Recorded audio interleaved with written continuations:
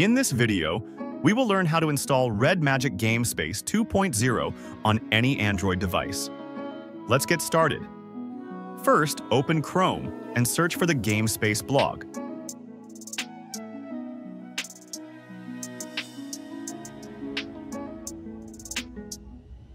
Once you open it, scroll down and tap on Download GameSpace 2.0. Then follow the on-screen steps to download the APK.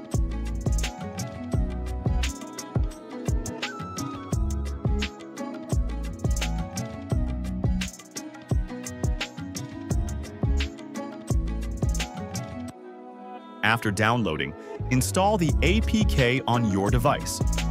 Next, install the Activity Launcher app from the Play Store.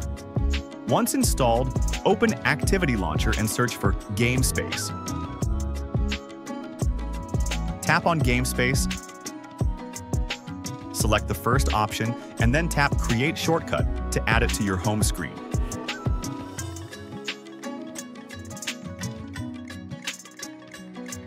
Now, let's check if it works.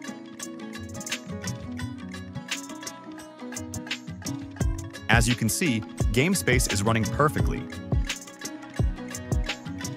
That's it for this video. If you found it helpful, don't forget to like, share, and subscribe.